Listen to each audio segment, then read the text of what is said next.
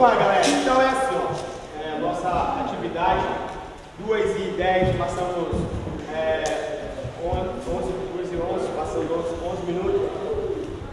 Teve um tempo aí, mas sua está lutando, se ele vai conseguir chegar, vai chegar aqui lá com 2 e 20. Então, vai começar agora ser é o mestre Urbino, né, um grande amigo nosso aí do, grupo aí, do grupo Cordão de Ouro, uma bagagem muito grande aí no, dentro do, do mundo da capoeira.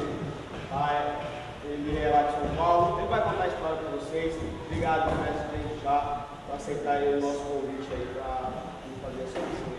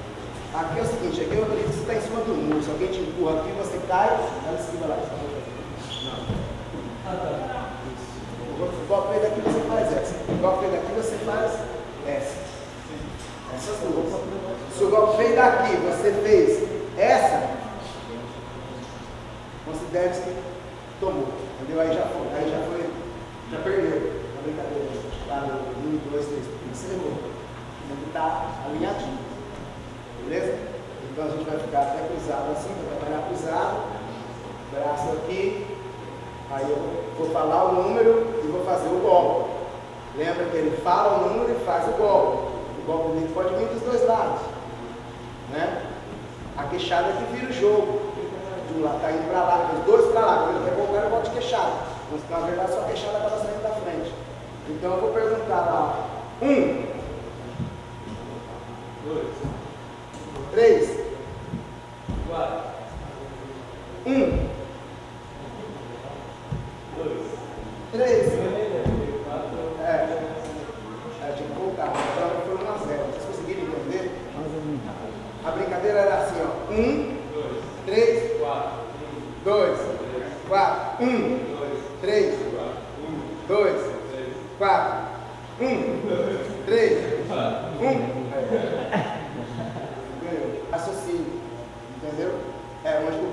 leva vantagem.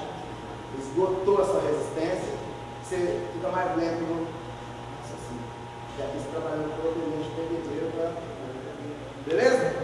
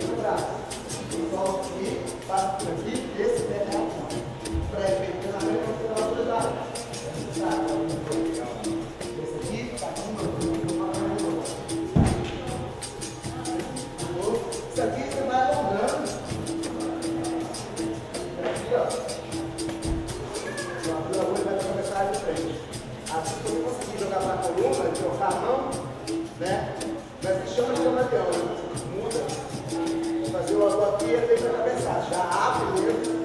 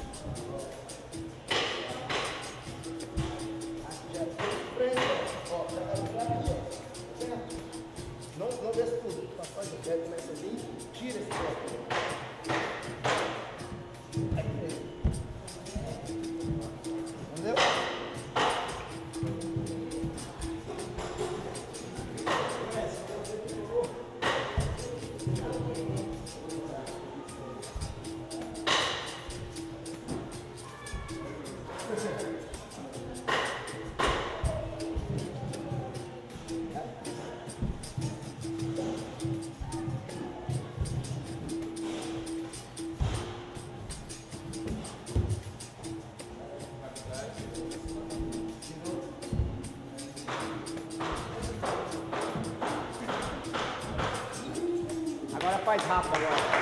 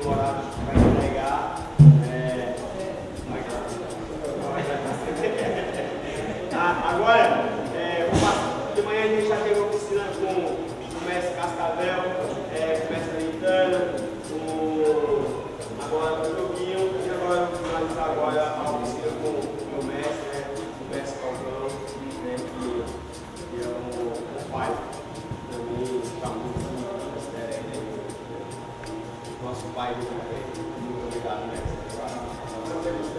Tem exatamente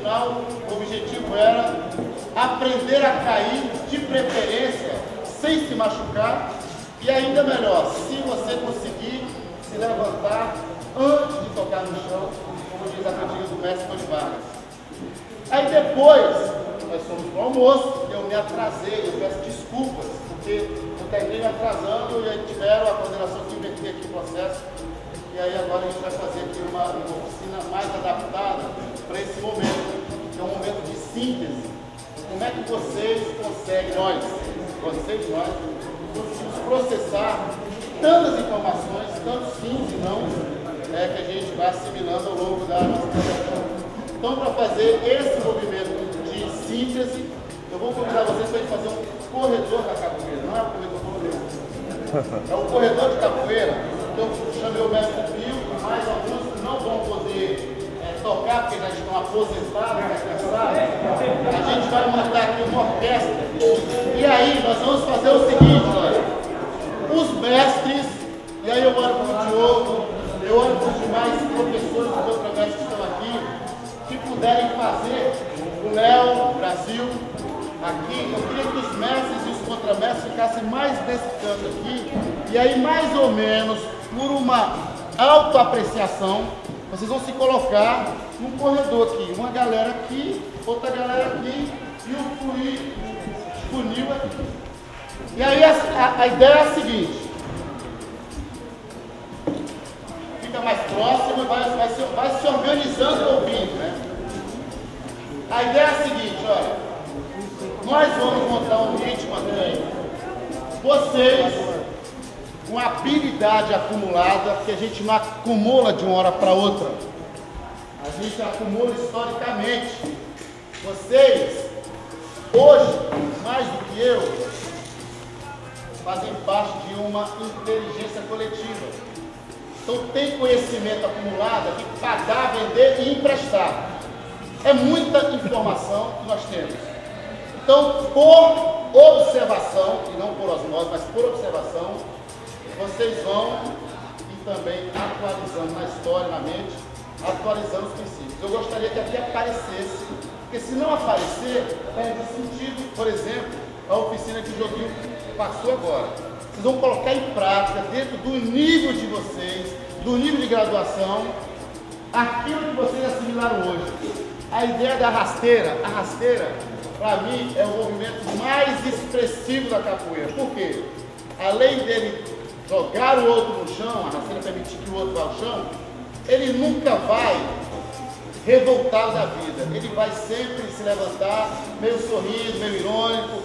É uma queda em si quando você cai numa rasteira. É muito melhor você cair numa rasteira, de uma rasteira, do que levar, por exemplo, um tapa na cara, uma ponteira, um martelo e tal.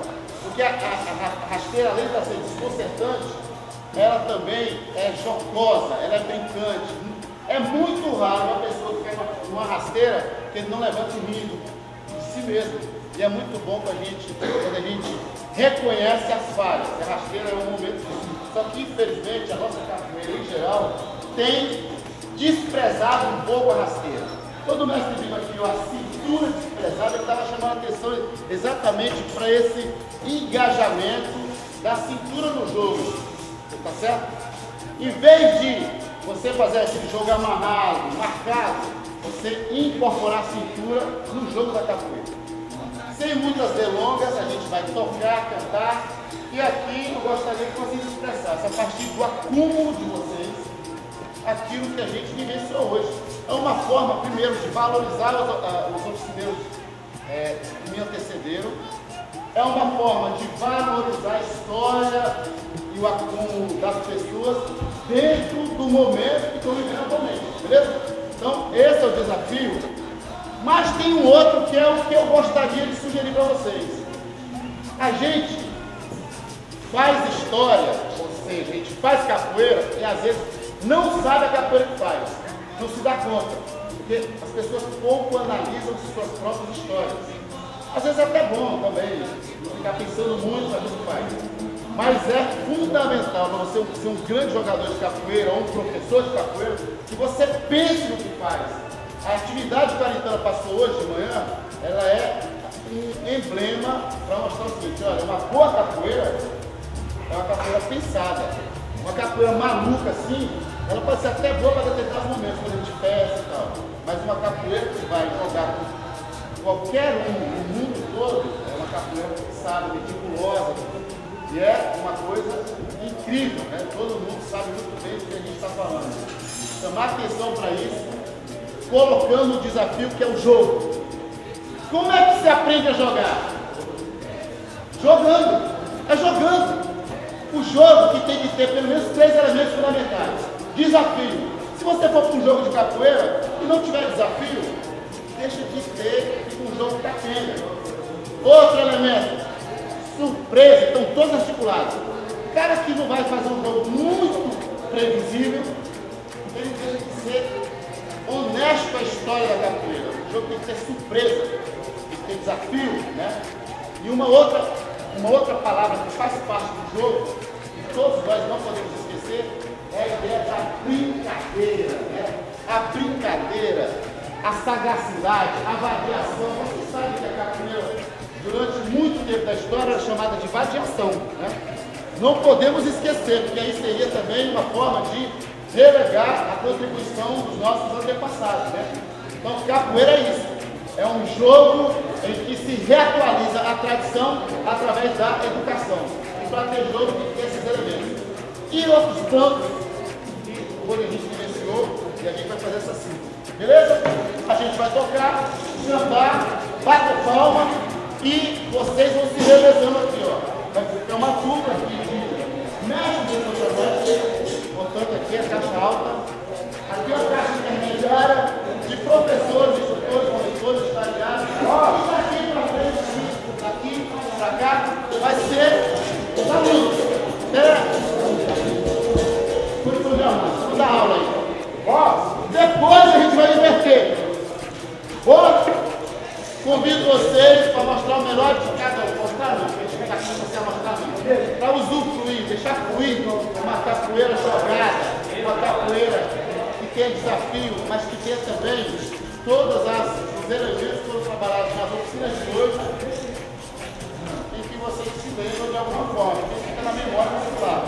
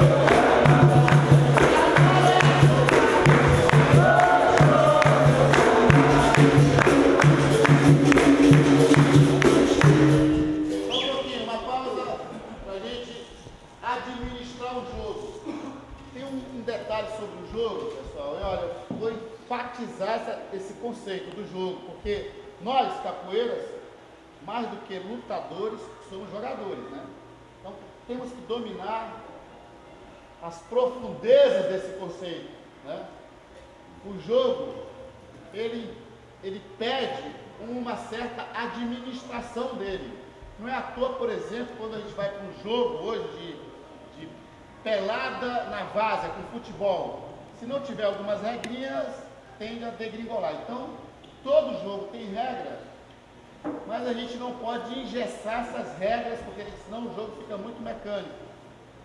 Como é que a gente consegue preservar a ideia do jogo e ainda assim incorporar outros elementos que são fundamentais para o aprendizado? Nós vamos fazer o seguinte, a gente percebeu, como tem poucos mestres presentes e contramestres, os mestres e contramestres agora, eles vão poder transitar é uma nova regra. Transitar aqui, ó, e fazer desafios para os mais jovens, beleza? Então vocês fiquem à vontade, porque senão a gente vai se cansar muito vocês. E aí a gente vai fazer jogos também, os mestres e contramestres podem fazer esse trânsito aí. Outra coisa, no jogo, você desenvolve astúcia. Todo mundo sabe o que é astúcia, né? É, um, é uma forma de lidar com a realidade diferente da postura do João Bobo. Um João Bobo não vai ser astuto, né? O astuto é aquele cara que tem visão periférica. Eu não posso ficar dividindo aqui, só tem adultos, né? Dividindo espaço aqui para o pessoal é, desenvolver o jogo com mais segurança.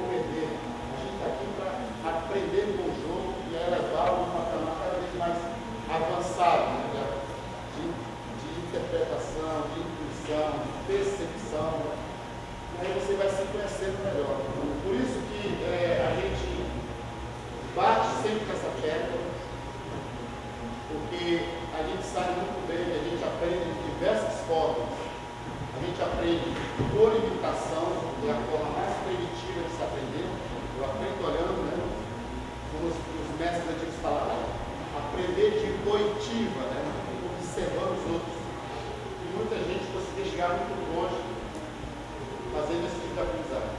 Mas a gente aprende também para além da observação. A gente aprende também a partir de uma reflexão que você faz é, quando faz a própria ação.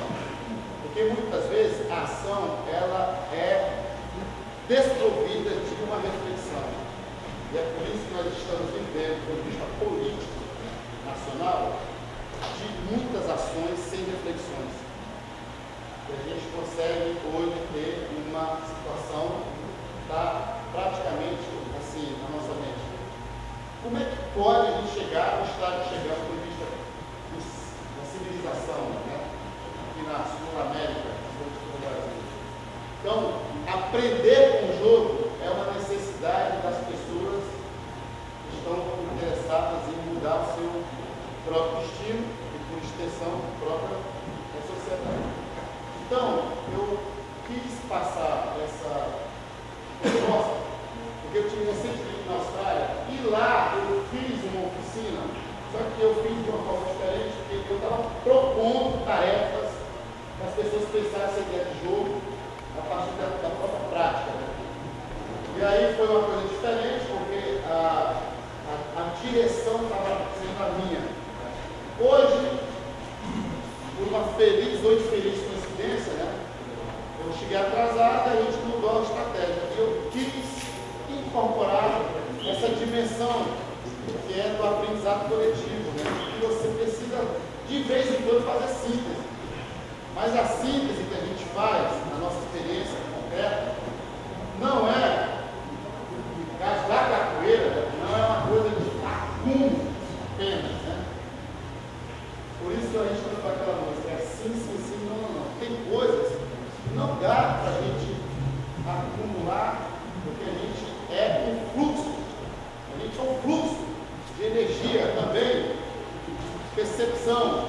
Nem sempre aquele jogo que você vai fazer é o melhor que o anterior. A gente se lembra de jogos fantásticos, fantásticos, como disse o colega, um tempo atrás que aconteceu nas nossas vidas em algum momento, porque outros elementos também são fundamentais, no caso da capoeira, para que o jogo seja bem jogado, né?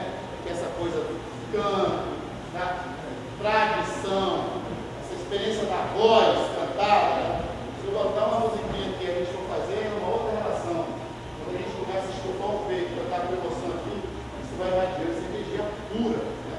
Então, pessoal, essas ideias, essas pequenas sínteses, assim, elas ajudam muito a gente a, primeiro, valorizar a contribuição dos nossos ancestrais.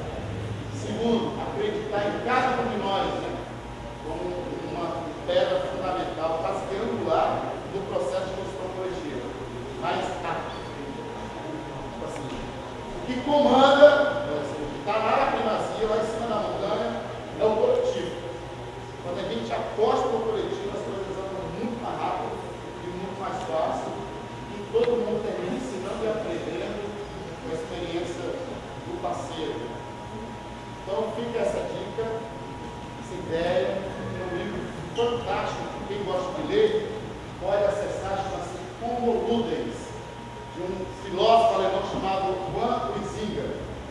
Ele, ele se esgarça o conceito de jogo desde o comecinho da humanidade. E aí ele chega a algumas sínteses muito brilhantes, e uma delas eu vou falar aqui agora. O jogo faz parte da nossa vida, assim como a luta, assim como o trabalho, assim como a emoção. Então, assim como nós somos homofábicos, assim como nós somos homo sapiens, né? pensa, a gente também é homo ludens, jogo de ludens, palavra latina. O nome do título da aula é ludens, homo ludens, o homo é lúdico também. Quem não joga não vive bem, porque o jogo também, e é isso que ele traz uma, uma coisa legal, ele permite você extravasar, botar para fora a panela de pressão que cada um vai construir a sua própria experiência do dia a dia. Então o jogo é uma válvula de escape para superar, inclusive, problemas, conflitos, né? neuroses, psicoses que estão tomando conta das sociedades enlouquecidas cada vez mais crianças estão indo mais para os nossos, é, nossas clínicas de recuperação é, psicológica. Então, o jogo é também essa válvula de escape. Ela não é apenas uma brincadeira. O jogo nos faz ser humano. O ser humano não é ser humano porque ele joga, porque ele trabalha, porque ele, ele ama, né? porque ele faz coisas fundamentais em qualquer lugar. E a capoeira, ela consegue, numa prática só, misturar, juntar, botar tudo junto numa mesma coisa, e a gente termina tendo aí esse presente que os negros escravizados negaram para todos nós, né? É uma das atividades que é considerada pelos próprios pedagogos, o pessoal que estuda essa coisa, é, o que faz o ser humano ser, ser um ser humano evoluir? Capoeira moderna, né? se tornou patrimônio cultural e da humanidade. É uma sabedoria importante que nós, professores e discípulos, também somos, somos sempre né? professores e discípulos, não é só professores e discípulos. Professores e discípulos. Todo professor tem que ser discípulo. A gente aprende com ela. Beleza? Capoeira para nós é um presente. A gente agradece a contribuição de todos vocês e passo a bola agora para o